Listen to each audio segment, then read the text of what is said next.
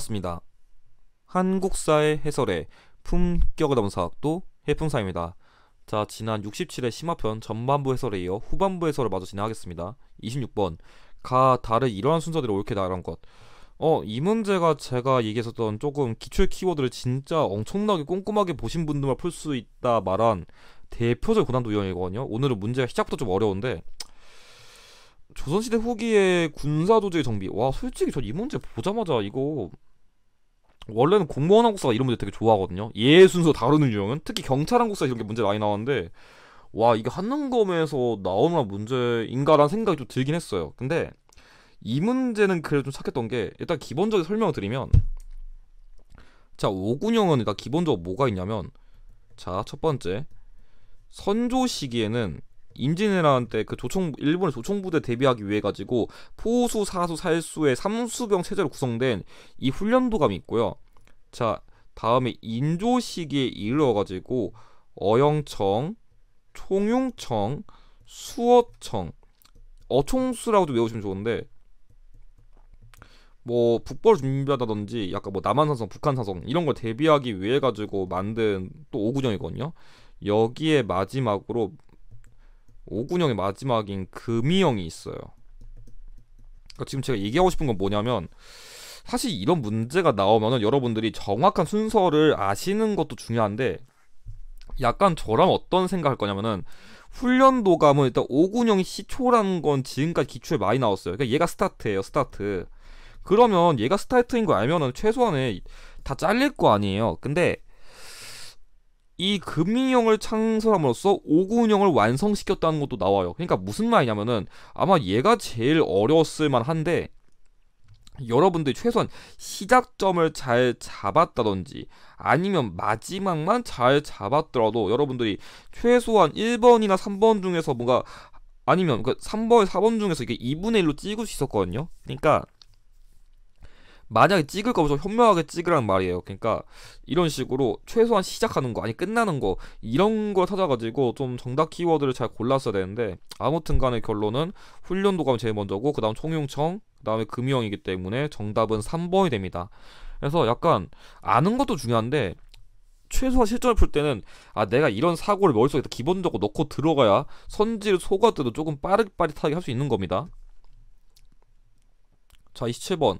가 왕의 제기가 있었던 사실로 옳은 거 얘기했는데 자 이 문제 키워드가 솔직히 조금 낯설어 보일 수 있거든요. 자 먼저 봤어야 되는 건 화성이에요. 자 수원화성.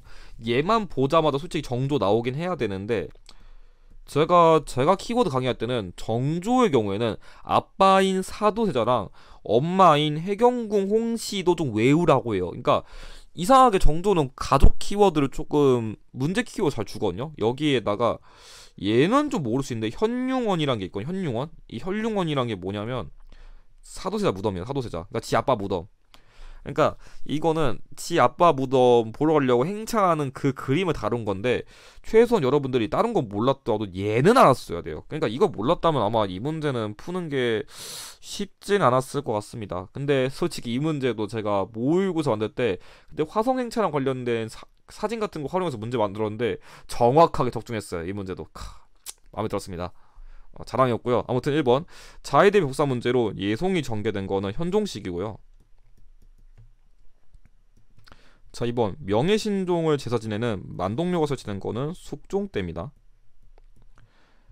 자 3번 문신을 재교육하기 위한 초계 문신제가 실시되었다. 어, 그래서 정도도 은근 머리가 좋았거든요. 그래가지고 관리에 대한 재교육지도 했기 때문에 정답은 3번이고 붕당의 폐해를 경계하는 탕평비가 성균관에 건립된 거는 영조 때입니다. 마지막으로 비변사 협화와 의정부와 상붕부의 기능이 정상화된 거는 고종 때긴 한데 정확하게는 흥선대원군이 집권했을 때 시기이기 때문에 다 해당이 안 됩니다. 자, 28번. 다음 상황이 나타난 시기를 연표해서 옳게 고른 것은 확실히 2023년 시험은 천주교의 박해랑 관련된 유형을 좀 많이 내는 그런 트렌드가 있었거든요. 이게 좀 연장판인데 여러분들이 봤어야 되는 건 이거예요. 사학죄인 황사영. 솔직히 얘만 봤어도 이 문제 풀 수 있는데 이 황사영은 백서를 만들었대요. 근데 북경의 천주당에게 전한다고 하는데 자 제가 박해를 얘기했으니까 한능검에 잘 나온 박해는 크게 세 가지가 있어요. 정조 때 발생한 정조 때 발생한 신해박해랑 순조 때 발생한 신유박해랑 그리고 고종 때 발생한 병인박해가 있거든요. 자, 근데 여기서 제가 조금 더 강조하고 싶은 거는 황사영 백서 사건은 신유박해를 계기로 발생했는데 당시에 신유박해를 계기로 뭐 이승훈, 정약용, 정약종, 정약전 등 어, 인물들 비롯해서 많은 인물이 희생되니까 당시 황사영의 인물은 내 천주교 좀 믿었다고 왜 이렇게 사람들 죽이고 유배 보내? 이게 나라야? 하면서 당시에 북경에 있는 그 그러니까 북경에 주재하고 있는 프랑스 선교사들에게 이 백수하는 편지를 보내가지고 지금 조선이 개 망해가고 진짜 총, 종교도 못 믿게 이런 정신 나간 나라가 어딨어? 이러면서 저기 그 프랑스 선교사님들 그 거기 프랑스 본부 연락해가지고 함대 좀 가져와가지고 조선 좀 때려주세요 하는 게 이 황사영 백서 사건이에요. 아 물론 천, 종교에 대한 탄압은 당연히 있으면 안 되고 자유 존중해야 되는 거 이해하는데 그렇다고 해가지고 당연히 다른 나라한테 연락해가지고 우리나라 때려주세요 하는 것도 정상적인 행동은 똑같이 아니에요. 아무튼간에 그런 종교에 대한 탄압으로 인해서 발생한 사건의 흐름인데 여러분들 이해하셔야 되는 거는 이 황사의 백서 사건은 신유박해를 계기로 발생한 거고 신해박해보단 조금 이후에 발생했기 때문에 이거는 1801년 발생했다. 그거를 좀 이해하시는 게 핵심이었습니다. 그래가지고 정답은 3번이 됩니다. 29번 가 사건에 대한 설명 옳은 것. 자, 이 문제는 확실히 한능검이 이도 비슷한데 제너럴 쩌보너 사건을 진짜 많이 끌고 왔거든요. 실제로 지금 이 문제 보면 척하비는 제너럴 쩌보너 사건을 90이 이뤘다. 그러니까 확실히 이 올해는 제너럴 쩌보너 사건이랑 아 올해가 아니라 2023년에는 제너럴 셔문 사건이랑 신미양요를 엄청나게 끌고 왔어요. 그러니까 무슨 말 하고 싶은 거냐면 병인 박해를 계기로 병인 양요가 발생했고 제너럴 셔문 사건을 계기로 신미 양요가 발생했다는 흐름을 이해하시는 게 중요했어요. 자 그러면 신미양요에 대한 설명 옳은 거 봐야 되는데 1번 청군의 개입을 종결되었다. 기본적으로는 이모군란이랑 갑신정변이 해당돼요. 동학농민운동까지는 개입으로 종교했다 하기에는 조금 애매해가지고 패스할게요. 2번 외교장과 도서가 약탈된 결과 병인 양념이다. 3번 에도 막부의 통신사가 파견되는 계기가 되었다. 이거는 거의 한 광해군 때 기후약도 맺을 때쯤은 돼야 돼요. 훨씬 이전이니까 시기가 안 맞고 사태 수습 위에 박 교수가 안에서 파견된 건 임술 농민봉기입니다. 그래가지고 정답은 전개 과정에서 어제현 부대가 광성부에 상정했다는 예가 정답이에요. 그래서 병인 양료가 나오면은 양원수라던가 한성근이 나오고 신미양료가 나오면 거의 어제현을 힌트로 주니까 그런 인물 키워드 여러분들 잘 구별해 두시면 좋을 것 같아요. 자, 30번 가나 대한 설명 옳은 것. 자, 이 문제는 어 다행히 가나 시기 문제가 아니니까 조금 더 편히 설명드릴게요. 자, 조약 유형은 여러분들이 이런 원문을 보고서 이게 어떤 조약의 핵심 키워드 다룬 건지, 그러니까 여러분들이 어 이걸 보고서 이거구나라고 한마디로 요약할 줄 알아야 돼요. 한번 저랑 같이 해보죠. 일단 가의 경우에는 조선 상인이 북경에서 뭐 규정했다 교육하고 중국 상인이 조선의 양화진과 서울에 들어가서 영업소를 개설했다. 자 지금 일단 중국 상인 나온 거 보니까 조선과 중국이 맺은 건 알겠어요. 근데 중요한 거는 중국 상인이 양화진과 서울에서는 영업소를 열 수 있다는 거예요. 양화진이라는 거는 약간 좀 진짜 한국 그냥 그런 데 보시면 되고 서울은 진짜 거기 진짜 완전 내륙지요. 이거를 좀 쉽게 요약하면은 전문 용어는 내지 통상권이라거든요. 그러니까 무슨 말이냐면은 이 용어 자체가 좀 어려운데 간단히 풀어드리면은 잠시만요. 그러니까 중국의 입장에서는 어 뭐 상인들이 솔직히 이렇게 여기 땅까지 들어와가지고 무역하는 게 썩 쉽지 않아요. 우리나라 상인들 입장에서도 그러니까 내가 쉽게 말해가지고 자영업자예요. 내가 막 여기 뭐 이런 바닷가 근처에서 내가 횟집을 하고 있는데 중국 상인들이 막 다 넘어와가지고 횟집 막 차려가지고 싸다 싸다 이러면서 막 가게 다 열어버리면 이러 다 죽어요. 나 물건 팔아야 될 거 아니야. 당연히 남이나 상인 들어오는 거 좋아할 리 없는데 이 조약 얘기로 뭐 양화진이라던가 서울까지 들어와가지고 그러니까 다른 나라 사람들이 우리나라 이렇게 안쪽까지 안쪽까지 들어와서 상업 활동할 수 있는 걸 규정했다는 거예요. 그게 내진 통상권이거든요. 그래서 우리나라 상업에 크게 타격을 준 건데 이거를 언급한 조약은 조청 상민 수륙 무역 장정이에요. 사실 이것도 말을 진짜 이걸 바탕 이해하면은 뭐가 되냐면은 좀 해설치고 깊은 설명일 수 있는데 조선과 청나라의 상민들 상인들이 뭐 바닷가라던가 육 지에서 무역할 수 있는 거에 대한 규정을 다룬 거예요. 그래서 이런 게 있는 거예요. 수륙무역이라는 게 이걸 말하고 싶은 거거든요. 그래서 이 맥락을 이해하면은 아가 좀 이해 잘 될 거예요. 좀 설명이 길었는데 나는 좀 쉽게 할게요. 나는 조선으로 가문이 난다면 아 그래가지고 일시적으로 쌀을 수출 금지할 때는 1개월 전에 지방관이 일본 영사관에게 통지한다. 진짜 많이 나온 키워드예요. 얘는 자 쉽게 말하면은 나 먹을 거 없어가지고 쌀 수출을 금지한다. 다른 말로 하면은 쌀의 수출을 방지한다. 방공령입니다. 이걸 바탕으로 조의 통상 장정을 추론했어야 돼요. 그러니까 쌀 수출 금지한다 나오면 그냥 방공령이고 방공령이 나오면은 뭐 환경도 관찰서 조병식이 뭐 이걸 선포했다 그런 거 잘 나오니까 그런 거 외우시면 됩니다. 그럼 이제 볼게요. 1번 통관부가 설치되는 계기가 된 거는 이건 을사늑약이고요. 2번 조선의 관세 자주권을 최초로 인정한 것 얘가 조의 통상 장정이기 때문에 관련 없고요. 3번 최애국 대우를 규정한 조항을 담고 있다. 네, 조의 통상 장정에는 관세 자주권도 있지만 방공령 외에도 최애국 대우를 인정했다는 한계가 있습니다. 정답은 3번이고요. 4번 일본 공사관의 경비병 주둔을 명시한 거는 재물포 조약이고요. 갑신정변 영향을 체결된 거는 한성 조약이랑 청나라와 일본끼리 체결한 텐진 조약이기 때문에 관련이 없습니다. 정답은 3번이에요.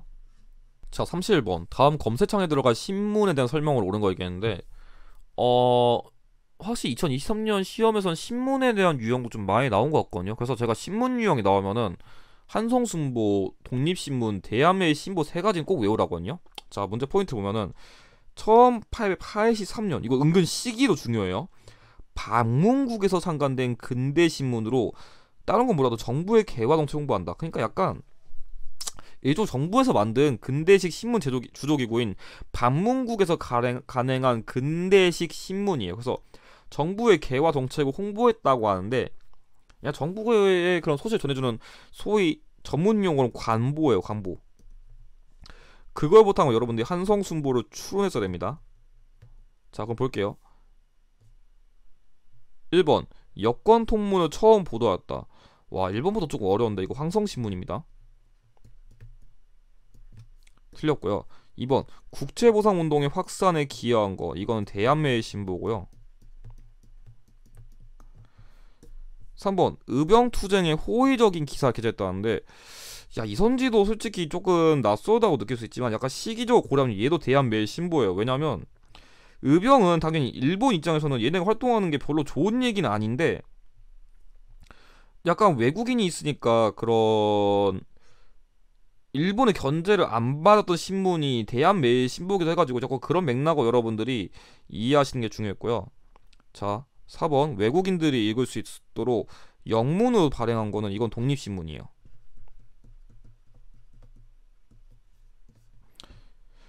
왜냐하면 이 한성순부란 신문은 순한문이기 때문에 이건 해당이 안 되고요. 정답은 그래가지고 순한문 신문으로 열흘마다 발행하는 걸 원칙인데 여러분들이 순자랑 한자를 알면 조금 이게 쉽거든요. 뭐냐면 어 순자는 열흘 순자 열흘 순. 그래가지고 열흘마다 발행하는 게 원칙이에요. 그래서 반대로 주보에서 주자는 일주일이거든요. 그러니까 주보 일주일, 순자 10일 이런 식으로 여러분이 접근하면 조금 더 문제를 쉽게 풀었을 것 같습니다. 정답은 5번이에요. 자 32번 다음 가상 뉴스에서 보도하는 사건 이후에 전개된 사실로 옳은 거 얘기했는데 어 확실히 올해 시험은 동아노미 운동도 진짜 많이 냈어요. 그래서 조금 나오는 틀이 와서 좀 명확했는데 볼게요. 이 문제에서 전주 화약을 체결당 키워드 나왔거든요. 그럼 전주 화약 이후에 사실 사시면 되긴 해요. 근데 제가 조금 시점을 그래도 조금 이해하기 쉽게 한번 좀 정리를 해볼게요. 저라면 이렇게 나눌 것 같아요. 약간 동아노미 운동 이후에 뭐 삼례 집회, 보온 집회, 야 이런 거랑 원인, 전개, 그리고 어 일본의 침략, 그리고 우금치 이렇게 접근하면 여러분들 좀 접근이 쉽거든요. 볼게요. 근데 전주화약은 거의 3번의 마지막쯤에 있으니까 제가 여기다 이렇게 쳐볼게요. 1번 남접과 북접이 논산에서 연합하였다. 어, 벌써 정답이 나왔는데 1번은 여기에 속해요. 왜냐면 일본이 불법을 경복고 점령해가지고 야 쟤네 몰아내야 돼 하면서 당시에 남접과 북접이 논산 연합해가지고 우금치 전투 발생한 거거든요. 그래서 흐름상은 1번이 정답이에요. 자 2번 농민군인 황룡총에서 전 광군과 승리한 거는 여기에 속해요. 왜냐 전주 화약은 거의 동학농민군이 최대로 승리한 전주선 점령 위에 발생한 건데 황룡총 전투는 전주선 점령보다는 조금 이전이에요. 그래서 시기가 살짝 안 맞고 보온 집회가 개최된 건 여기에요. 그래서 가장 이전인 거고 4번 사태 수습 위에 안핵사 유용태가 파견한 건 원인 때쯤이에요. 그러니까 당시 이 고부 관할을 습격했다. 그러니까 이 고부 농민 봉기를 계기로 사태 수습을 이유, 그 해결하기 위해서 안핵사 이용태 파견한 건데 어, 이 이용태도 깽판을 쳐가지고 농민들이 더 화가 나가지고 백사에 직결한 다음에 뭐 황토연, 황용촌, 전두선 정령 세 가지가 발생한 거거든요. 그래서 그 흐름을 솔직히 동아농민 운동 유형은 심화표 준비할 거면은 세부 흐름 안 외우시면 문제 못 풀어요, 솔직히. 그러니까 그 훈련 잘 해두셔야 됩니다. 자, 33번. 다음 대화 해, 해당하는 교육 기관이나 설명 옳은 것. 자, 이 문제는 음. 좀 오랜만에 나온 건데 키워드만 잘 보시면 돼요. 자, 신학문을 가르치는 관리 교육 기관이다. 오케이. 자, 좌원, 우원인데 이게 교육 기관은 그 구성을 좀 아는 것도 문제풀이에 도움이 돼요. 최근에 그 어, 이번에서 나왔던 뭐 국자학생, 뭐 태학생, 사문학생 이런 것처럼 이 교육기관 이런 구성이다. 그런 것도 외워두시고 주요 과목 영어가 있는데 외국어를 이제 슬슬 가르치는 것 중에서 영어가 들어갈 때쯤 이제 솔직히 개항기쯤 와야 되거든요. 근데 그 중에서도 관리 교육 기관이란 걸 보고서 유경 공원인 걸 유추했어야 돼요. 근데 이것도 은근 잘 나오는 키워드입니다. 1번. 실제로 전문 강자가 개설된 거는 국자감이고요. 고려시대.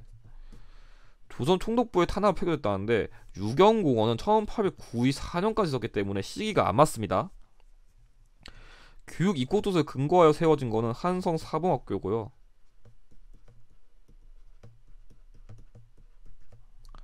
주요 건물로 대성전과 멸룡당을 둔 거는 성균관이랑 향교가 있습니다.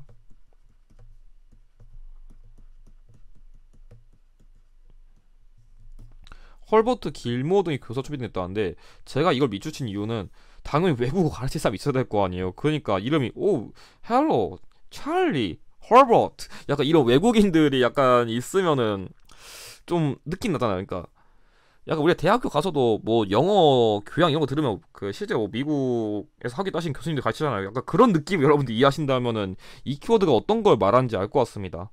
뭐 굳이 더 외우고 싶으면 여기다가 벙커까지 추가하면 될 것 같아요. 정답은 5번이에요. 34번 가 인물활동 옳은 거. 와, 이 문제 진짜 오랜만에 나왔는데 사실 이 문제는 44회랑 48회를 풀어보신 분들은 그냥 기출 보시에요. 특히 48회까지 보신 분들은 이 문제 그냥 거의 10초 안에 풀었을 텐데 왜냐하면 재미있는 게 문제 키워드 똑같고 답 위치까지 똑같아요. 자 설명 드릴게요. 일단은 이 문제는 다른 거 볼 필요 없고 얘만 보면 돼요. 초대주민공사. 그때 기초에서 이 미속수뷰라는 그 미국에 대한 뭐 안내 다룬 책도 있긴 했는데 솔직히 이건 몰라도 되고 여러분들 초대 주미공사 갖다 풀었어야 되는데 얘를 유길준으로 헷갈리신 분들이 좀 있는 것 같거든요. 다행히 유길준은 어 이 문제는 없긴 한데 초대 주미공사는 유길준이 아니라 박정영입니다. 이건 솔직히 초대 주미공사 알면 알고 뭐를 못 풀어요. 더 설명할 게 없으니까 바로 그 선지부터 할게요. 이게 진짜 끝이어가지고 1번 샌프란시스코에서 흥사단을 창립한 거는 안창호고요. 그러니까 안창호 선생님이나 누구야 그 유규준 같은 분이 미국 다녔으니까 미국 나오면 약간 이렇게 헷갈리기 쉬운데 그냥 막 접근하시면 큰일 나요. 2번 황준현이 쓴 조선책략을 국내에 들여온 거는 김홍집이고요. 인재 양성을 위해 오산학교 설립한 거는 이승훈입니다.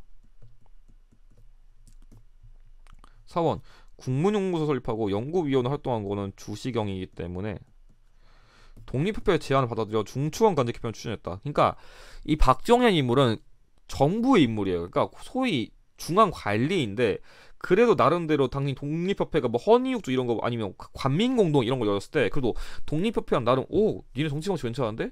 한번 네 얘기한 거 내가 건의해 볼게. 한번 추진해 보자. 나름대로 좀 긍정적 독립협회랑 토론을 했던 인물이 박정영이라는 거 여러분들이 좀 기억해 두시면 문제풀이에 도움이 될 것 같습니다. 정답은 5번이에요 자 35번 가에 들어갈 내용으로 가장 적절한 거 물었는데 아, 이 문제의 경우는 여러분들이 포인트로 고종이 황제로 즉위한 이후 구본 신참 입각하여 투지나 정책. 자, 근데 힌트가 진짜 많거든요. 솔직히 이 개혁이 나오면 그냥 황제 나오면 찍으시면 돼요. 구본 신참이란 건 옛것 본받아서 뭐 새로운 걸 만든다 그건데 와, 이 문제 힌트를 너무 많이 줘가지고 대한국 국제도 줘, 지게 발급도 줘, 양전 사업이요. 그래서 이런 키워드를 모두 종합했다면 광무개혁인 거 추루하는 거 진짜 쉬웠을 것 같아요.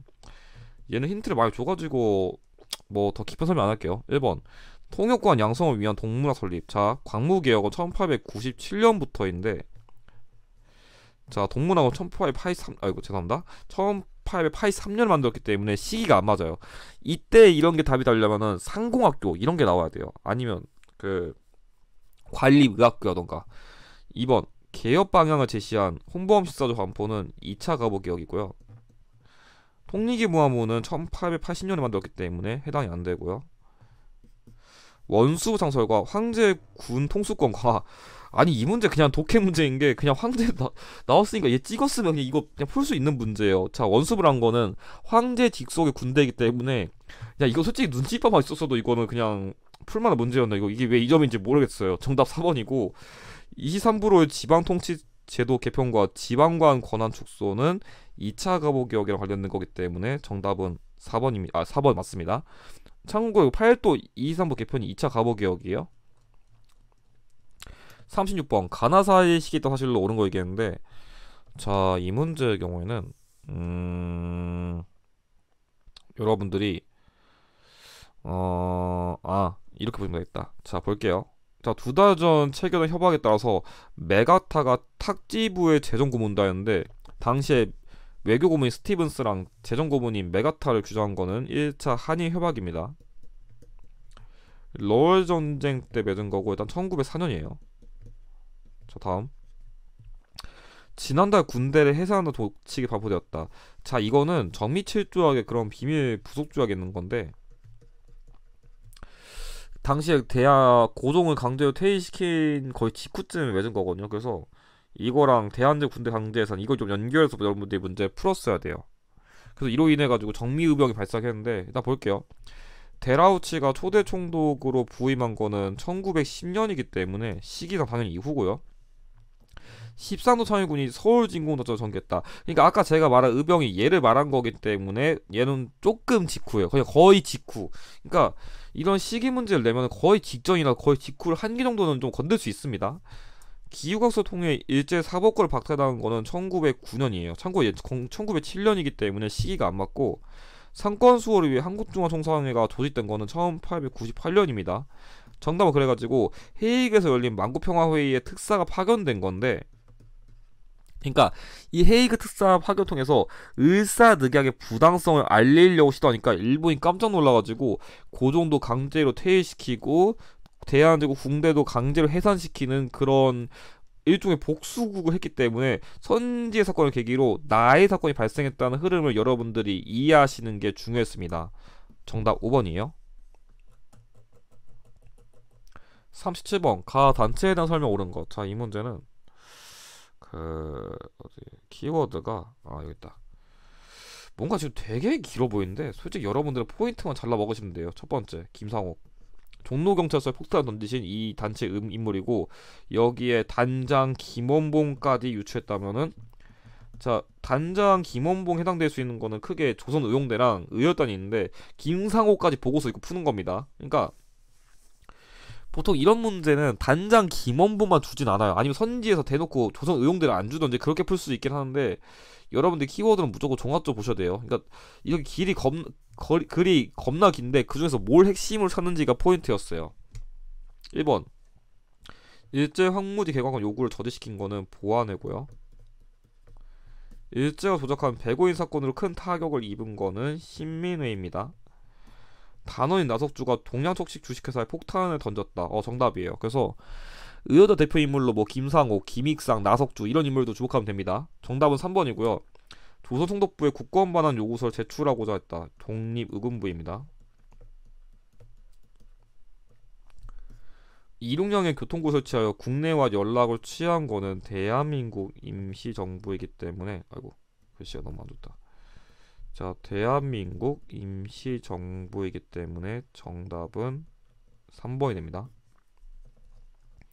38번 밑줄근 이 운동에 대한 설명을 옳은 것은 보기에서 고른 것이라 했는데 아, 이 문제는 솔직히 다른 만세 운동에 비하면 키워드가 되게 명확하거든요. 여기는 1929년 11월에 한일 학생 간의 충돌을 계기로 시작되었다. 그러니까 이 운동이 발생 원인은 학생들끼리 싸우다가 당시 경찰이 일본 학생들에게 특혜를 주고 조선 학생을 차별한 것에 대해서 반발해 가지고 발생한 광주 학생 항일 운동이에요.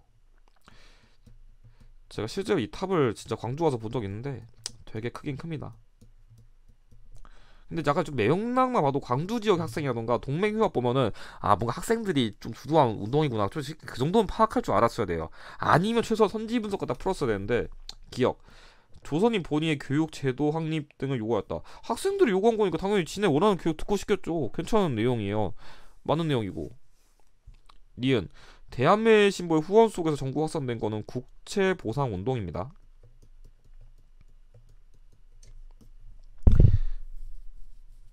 신간에서 진상 조사단을 파견하여 지원했다. 어, 얘 맞는 내용이에요. 당시 신간에서는 그 조선이 학생들 먹으라니까 진상 조사 파견해서 진상 규명을 좀 요구하려는 활동 같은 걸 주도했기 때문에 정답은 2번이 되고요. 일제가 이른바 문화 통치를 실시하는 배경이 된 거는 3.1 운동이기 때문에 관련이 없습니다. 그러니까 이런 문제는 여러분들이 보기 문제잖아요. 그러면 솔직히 지금 충돌 나는 것만 보더라도 어 나머지가 안 겹치네. 그 솔직히 그러니까 무슨 말이냐면은 선 이게 파악이 안 되면 선지 분석가도 풀 수 있으니까 조금 이렇게 문제랑 선지를 잘 비교해서 조금 검토를 두 번 정도는 해주는 게 좋아요. 그러니까 난 이거 어 3일 운동인 줄 알았는데 읽어보니까 3일 운동이 한 개밖에 없으면 아닌 것 같아. 약간 이렇게 사고를 역으로 해보란 겁니다. 자 39번 가 부대에 대한 설명 옳은 거. 자이 문제는 첫 줄에 대놓고 힌트를 줬네요. 자 여기에다가 아 솔직히 저는 이걸 좀 빼고 싶은데 그 이 독립군이랑 연합한 중국의 부대는 중국 호로군이거든요. 그래서 얘 때문에 좀 헷갈리신 분도 있었을 것 같은데 여기 힌트를 하나 더 준 게 청천장국 내 혁명투쟁사예요. 그러니까 약간 제가 이 독립군이랑 관련된 거는 쌍대전차를 외우라거든요. 쌍성보란 대전장 전투인데 그거랑 관련된 걸 보고서 얘는 한국 독립군을 외웠어야 돼요. 쌍성보 대전장 전투. 그래서 그거 키워드 잘 파악하는 게 중요했습니다. 근데 참고 지청천은 한국 독립군이랑 한국 광복군 둘 다 활동했었는데 대전장 전투를 보고서 한국 독립군을 풀어대는 겁니다. 결정적인 키워드 잘 찾아주셔야 돼요. 이렇게 1번 영국군의 요청으로 미, 인도 미얀마 전선에 투입된 거는 한국 광복군이고요. 간도참변 이후에 조직을 정비하고 자유시로 이동한 거는 대한 독립군단입니다. 중국 관 내에서 결성된 최초의 한인 무장 부대는 조선 의용대고요. 혼범도 부대 연합하여 청산리에서 일본과 교전한 것은 국로 군정서군입니다. 자 그래가지고 정답은 한국 독립당 군자 조직으로 북만두 지역 활동했다는 이게 정답이거든요. 그래서 어, 그냥 단순하게 한국 독립당 산하 조직은 한국 독립군이고 조선혁명단의 산하 군사 조직은 조선혁명군이다. 그냥 이 정도만 여러분들이 1차원적으로 사고를 하시면 됩니다.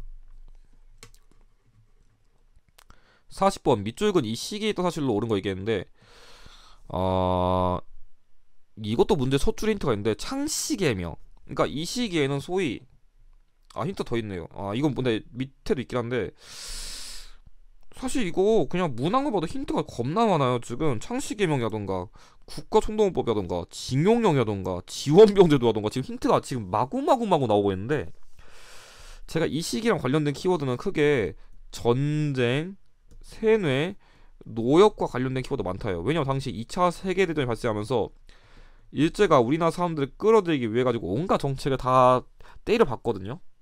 그걸 여러분들 접근해서 되는데 이걸 보고서 국가총독법, 뭐 국민징용령 이런 키워드랑 관련된 1930년도 후반 이후에 일제 사회상을 푸는 겁니다. 1번 조선 태형령이 공포되었다. 1910년대예요. 이때는 공포죠. 헌병 경찰제도도 똑같이 공포랑 관련된 키워드이기 때문에 1910년대고 경성제국대학이 설립된 건 1924년입니다. 관련이 없고 조선 농민 총동맹이 조직된 거는 1927년이에요. 그래서 정답은 황국 시민 서사 암소 강성했다는데 그러니까 진짜 천황에 대한 충성을 맹세하는 서사거든요.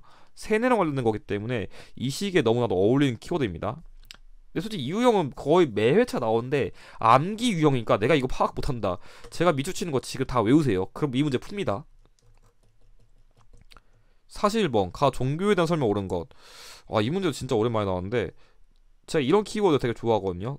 약간 100주년 되는 거는 진짜 매번 나오는 것 같아요. 그래서 제가 2024년에는 100주년 키워드가 또 뭐가 있는지 한번 나중에 알려드릴게요. 아무튼 방종환이 꿈꾼 어린이를 위한 나라라고 하는데 힌트가 동학을 계승했고 방종환이의 인물, 그러니까 이 종교의 소년에는 어린이의 권익을 위한 어린이 운동을 주도했어요. 그래서 여러분들이 이 키워드를 보고서 동학을 계승했다든지 아니면 어린이 운동을 주도한 천도교 소년회를 좀 추론해가지고 이 종교가 천도교다 그렇게 풀었어야 되는데 이 문제가 솔직히 기출 59회랑 거의 비슷해요. 포인트가. 1번 한용운 등이 사천려 폐지를 주장한 거는 불교랑 관련된 키워드고요. 만세보를 발행하여 민중계몽 앞섰다. 자, 만세보는 천도교 기관지이기 때문에 정답은 2번이에요. 참고로 천주교의 기관지는 경향신문입니다. 3번 박준빈을 중심으로 새생활 운동을 펼친 거는 원불교고요. 배제학당을 세워 신무한 아 죄송합니다 신학문을 보급하고자 힘쓴 거는 아펜젤러입니다. 약간 제 기억에서 선지도 거의 비슷한 것 같아요. 5번 의민단 조직하여 항의 무장 투쟁을 전개한 거는 천주교입니다. 참고로 비슷한 키워드인 중광단은 대종교의 군사 조직이에요. 사실 뭐 가에 들어갈 내용으로 가장 적절한 거 물었는데 이 문제는 그냥 단순하게 풀게요. 일제감정기에 문종 문화를 수호하고자 노력한 인물만 사주면 되니까 얘네들 몰라도 다 풀 수 있습니다. 그냥 바로 들어갈게요. 1번 정인보 민족의 어를 강조하고 조선학 운동을 전개했다. 정답은 얘인데 조선학 운동이란 거는 말 그대로 진짜 조선 시대 약간 학자 아니 뭐 학문 약간 조선학에 대한 연구를 한 건데 당시에 이걸 통해 가지고 정약용의 여유 당전서를 정리해서 가능했었거든요. 그러니까 약간 조선 시대 역사 가능 사업 그냥 그 정도만 이해하시면 될 것 같아요. 정답은 1번이고요. 장지영 황성신문에서 시리아 방송대국이란 논문서를 썼다. 자 시리아 방송대국이란 거는 을사늑약의 부당성이 한거한 건데 얘는 일제감정기 시기 키워드가 아니에요. 시기적으로 틀렸고요. 근데 나머지도 솔직히 보시면 알겠는데 유계준 서유 견문은 개항기 시기에 유계준이 미국 유학한 다음에 쓴 기행문이에요. 얘도 개항기예요. 최익현도 지부복과 초커에서란 거는 강화도 조약의 체결을 반대하는 상소를 올린 건데 얘도 개항기예요. 신원 강화도 조약의 체결을 전만을 기록한 시맹에게 남겼다. 신원은 그 강화도 조약 체결 당시에 한국 측 대표 인물이거든요. 그러니까 여러분들이 파악하셔야 하는 거는 장지영까지는 좀 애매한데 유계조 최혁 케이큰 신원은 다 개항기 때 활동한 인물이에요. 근데 심지어 이 키워드도 일제감정기 키워드는 아니기 때문에 여러분들이 시기소거만 잘했다면은 이 문제는 쉽게 풀 수 있었습니다. 정답 1번이었습니다. 자, 43번. 밑줄은 이 지역에 있었던 민족운동을 오는 거 얘기했는데 와, 이 문제는 제가 지금까지 본 국외 독립운동 유형 중에선 좀 난이도가 높은 편이에요. 이 문제는 솔직히 어떻게 풀었냐면 이 지역에서 발생한 지진을 아예 모르면 못 풀어요. 그러니까 무슨 얘기냐면은 이거를 결론부터 말씀드리면 간토 대지진이거든요. 간토 대지진 뭐냐면 원래 일본이 약간 지리적 위치상 되게 그 화산 근처에 있어가지고 원래 지진이 잘 나요. 지금도 지, 일본은 지진 최근에도 뉴스에서 뭐 지진 났다고 본 것 같은데 엄청난 대규모 지진이 있으니까 조선인들에게 이거를 뒤집어 쓴 거예요. 그러니까 하도 일본 내에서 어 또 지진이야 아 어떡해 이러고 있으니까 이 불안한 분위기를 조선인들에게 다 뒤집어 써가지고 야 쟤네 때문에 우리가 저, 저 지진 난 거야 쟤네를 없애버렸는데 이런 식으로 여론을 돌려버린 거거든요 그래가지고 실제로 자연재해 가지고 우리나라 사람들이 안타깝게 그때 진짜 많이 희생된 게 이거예요. 간토 대진. 일본이에요. 그 제가 말한 어떻게 보면 일제감정기 시기 역사 중에서 가장 어, 이런 말 같지도 않은 사건이 있다 하면 전 이거가 아닐까 싶거든요. 진짜 많이 안타깝긴 한데 일단 다시 시험적인 측면 돌아온다면 이건 솔직히 그냥 간토 대지진에 대한 기본적인 지식이 없으면 못 풀어요. 그래서 아마 좀 역사에 관심이 있으신 분들은 이걸 풀었을 것 같은데 그게 안 되신 분들은 이거 좀 까다롭다 느낄 수 있었을 것 같아요. 1번 한인자치기구인 경합사 설립하였다. 이건 서간도 지역이고요. 민족교육을 위해 서전서술을 건립한 거는 북간도 지역입니다. 유학생을 중심으로 이팔 독립선언서를 발표했다. 그래서 당시에는 그 조선 청년 독립단이라 해가지고 그 3.1 운동 직전에 독립선언서 발표했는데 이게 3.1 운동에 영향을 준 거기 때문에 정답은 3번이 되고요. 4번 대조선 국민군단을 결성하여 군사훈련 실시한 건 미주 지역입니다. 대한광복 정, 대한광복군 정부를 세워 무장투쟁을 준비한 거는 연해주 지역이기 때문에 정답은 3번입니다. 44번 가 인물에 대한 설명 옳은 거 얘기했는데 아 확실히 2023년 시험에선 이 인물이 되게 자주 나온 것 같아요. 포인트는 몽양이라는 연호 그 연호가 아니라 죄송합니다. 그 호랑 아 여기에 신한 청년단을 조직하고 좌우합자 운동을 추진했다. 이 두 가지를 포인트 잡았어야 돼요. 좌우합자만 보면은 그 김규식 선생님도 조금 있었는데 다행히 이 문제는 안 나왔어요. 여운영 선생님이에요. 여운영.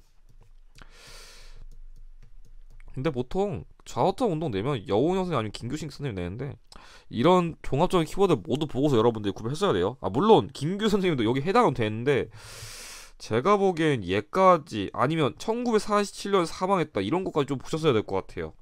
그러니까 나름대로 힌트를 더준 겁니다. 1번 조선건국 동맹 결성했다. 정답은 얘인데 이 인물은 패망 직전에 이게 나라의 독립 이후에 조금 이제 국가를 재건하기 위한 준비를 사전부터 했어요. 그래서 광복 직후에는 국내에서 조선건국 준비위원회를 만들었습니다. 2번 한국 독립운동 지열사 저술한 거는 박은식 선생님이고요. 권업회 초대 회장으로 선출된 거는 최재형입니다. 최재형님. 대한광복회를 조직하여 친일파를 처단한 거는 박상진이고요. 백산상을 설립하여 독립운동 자금 마련 이건 좀 어려운 키워드인데 안희재 선생님입니다. 안희재. 그래가지고 정답은 1번이 됩니다. 45번 밑줄근 개헌하는 시행 결과로 오는 것 오랜만에 헌법 유형이 나오는데 한번 볼게요. 근데 이건 솔직히 힌트를 진짜 대놓고 줬어요. 그냥 제 2차 개정이다. 그래서 솔직히 이거는 그냥 제 2차 개정이 4452개헌이다. 그러니까 1차는 발췌개헌이다. 얘만 알면 풀 수 있는데 그 힌트를 더 볼게요. 자, 1954년에 실시됐고요. 대통령 장기 집권을 위해서 했었고요.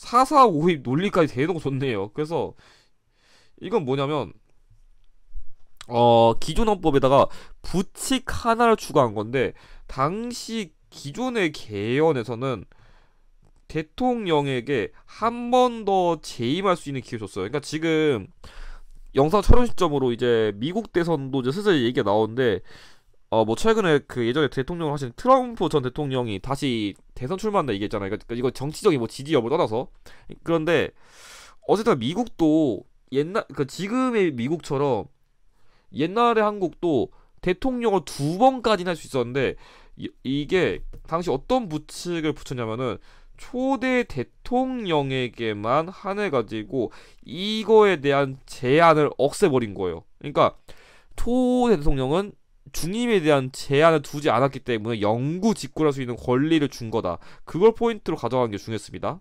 1번 통일주주 국민회의에서 대통령이 선출된 거는 7차 개헌, 다른 말로 유신헌법이고요. 5년 단임의 대통령 직선제에 의해 선출된 거는 9차 개헌입니다. 3번 대통령이 국회의원의 3분의 1을 추천하게 된 것도 역시 7차 개헌 유신헌, 유신헌법이고요. 4번 국회에서 간접선거 방식으로 대통령 선출되게 한 거는 아 이거는 두 개가 투지 두 가지가 될 수 있는데 재헌헌법이랑 3차 개헌이 대표적이에요. 정답은 그래가지고 개헌 당시 대통령 안에서 중임 제한 철폐됐다는 제가 방금 설명한 이게 정답입니다. 46번 가마에 들어간 내용으로 적절하지 않은 것. 오 통합사 유형이 나왔는데 얘는 그래도 솔직히 통합사 치고는 그렇게까지 어렵진 않아요. 솔직히 1점짜리인 거 보니까 나름대로 새로운 문제를 만들려고 나름 시도를 했는데 그래도 난이도 자체는 끄게 어렵지 않게 만든 것 같아요. 자 1번 중국 연과의 교류 관계를 보여준다. 명도전이란 거는 철기 시대 뭐 명도전, 반양전, 오수전 이런 화폐 말한 건데 당시에 우리나라 만든 화폐는 아니니까 중국과의 교류를 보여주는 사례로 볼 수 있죠. 맞고요.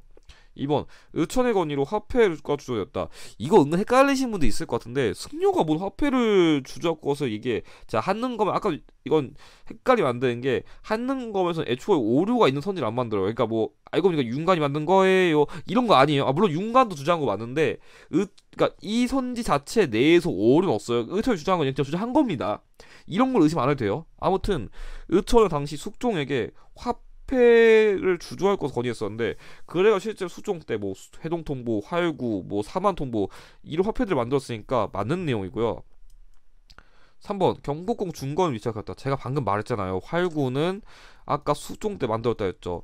자 경복궁 중건을 위해 제작된 화폐는 경 아니 경복궁이 아니라 자 경복궁 중건을 위해 제작한 거는 경복궁이 아니라 당백전입니다.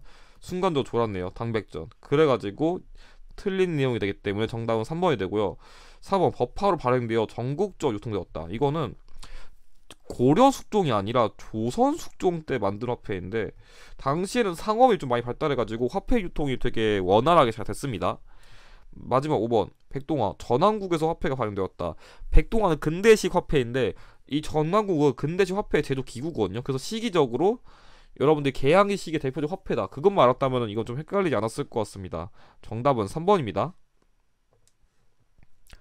자, 47번, 48번. 다음 자료를 읽고 물음에 답하시오.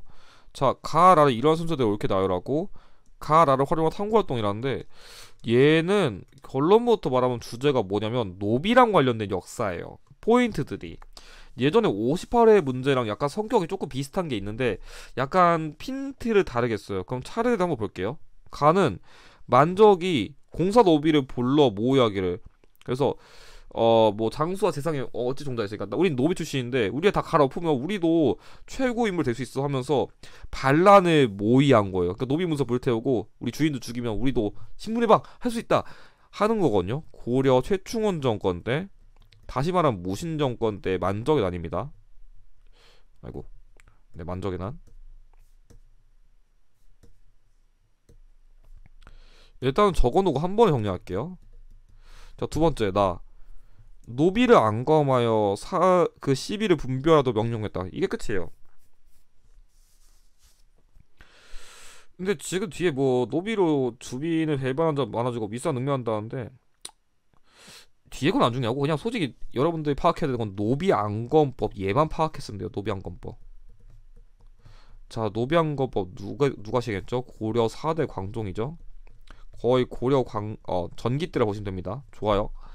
자, 다 이거는 옛날의 사료로 가져온 건데 어디 과부의 재가를 허용한다던가 어 그 신분제 해방한다던가 그리고 공사노비법 혁파까지 언급한 얘는 개항기 시기의 1차 가보 개혁이에요. 그냥 이건 그냥 1차 가보 개혁 관련된 내용을 다룬 거니까 바로 푸셨어야 되고 라의 경우에는 여기 어 네노비와 시노비를 모두 양민으로 삼는 맥락을 좀 이해하셔야 되는데 이거 헷갈리시면 안 되는 게 이 1차 가보격 때는 진짜 공노비, 사노비를 완전히 싹 다 해방시킨 거고 여기 나온 네노비나 시노비는 공통적으로 공노비예요. 그러니까 그 노비를 6만여 명 정도 해방시켰다는 맥락이 나오면 조선 그 순조 때, 그러니까 23대 순조 때쯤에 시행한 공노비 해방이다. 그렇게 이해했어야 돼요. 그래서 포인트는 지금 아까 순서 물어봤으니까 고려 전기인 얘가 제일 먼저고요. 무신여건 얘가 조금 더 뒤겠죠? 그리고 순조 때가 조금 더 뒤고 1차 가보게 온 개항기 시기쯤이니까 시기적으로 나가 라다가 돼가지고 정답은 3번이 되고 버튼 한번 볼게요. 가라로 활용한 탐구 주제 무신직 공기 발생한 하층민의 봉기 처 노비의 봉기인데다가 제가 최충호 정권은 무신 정권이라 썼죠 얘는 맞는 내용이고 호족의 경제적 기반을 약화시키기 위한 제도를 살펴본다. 왜냐하면 당시에 호족에게 노비가 있다는 거는 자신들에게 뭐 신하가 있는 거잖아요. 당연히 권력이에요. 내 밑에 사람이 있어. 그냥 그거 자체가 그냥 신분이고 아니 신분이 아니라 재산이고 권력인데 이 노비들을 다 양인을 해방시키면 어떤 경 경제적 효과라고 표현한 건 좀 웃기긴 하지만 양민 해방되니까 당연히 세금을 내야 될 거 아니에요. 그러니까 정부 입장에서는 어쨌든 세금을 거둘 수 있는 그런 거 거둘 수 있고 호족 입장에서는 자신들의 노비가 사실상 재산인데 그걸 잃어버리겠으니까 경제적 기반을 약화시킨다는 점에서 맞는 내용입니다. 정답은 1번이고요.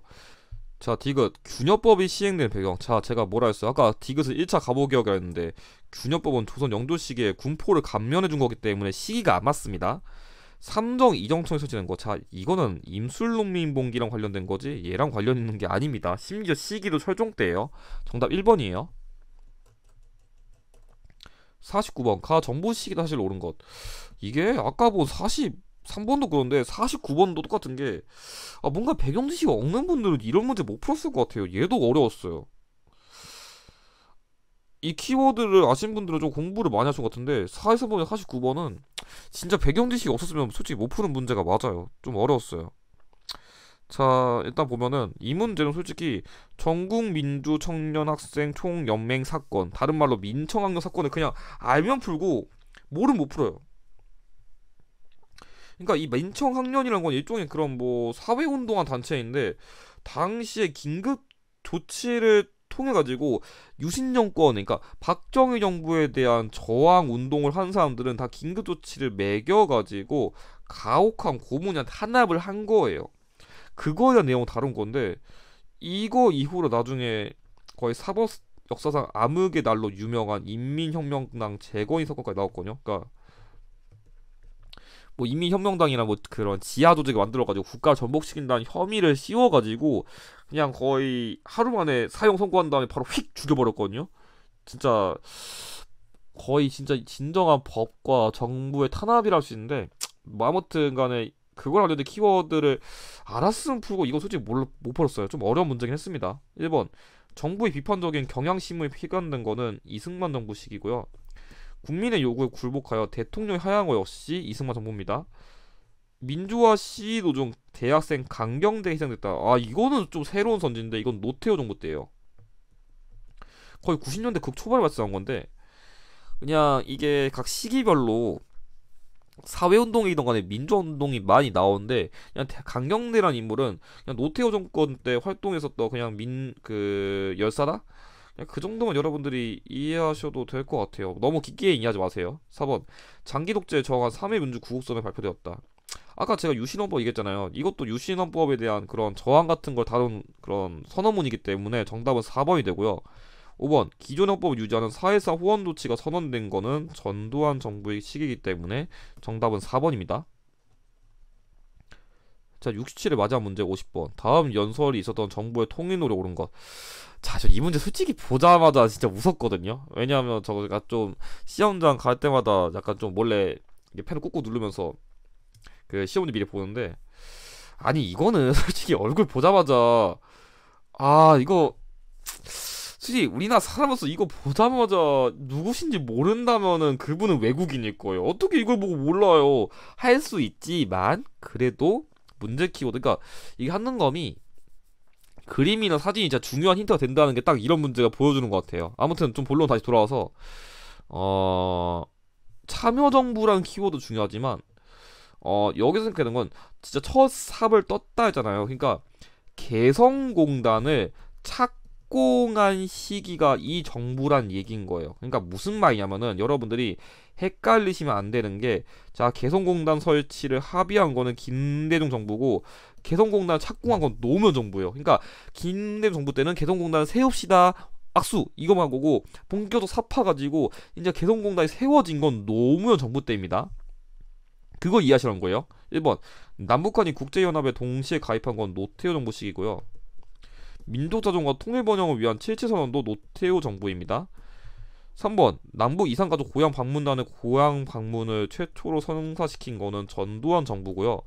7.4 남북 공동성명 실천을 위해 남북조정위원회를 구성한 거는 박정희 정부입니다. 그래가지고 6.15 남북 공동선언을 개선해가지고 한층 더 통일교류를 발전시킨 남북관계 발전과 평화 번영을 위한 14 남북 정상선언을 발표한 게 노무현 정부 시기의 역사적 사실입니다. 정답은 그래서 5번입니다. 자 그럼 이것으로 67 해설을 마치도록 하겠습니다. 영상의 내용이 도움이 되셨다면 좋아요와 구독을 부탁드립니다. 감사합니다.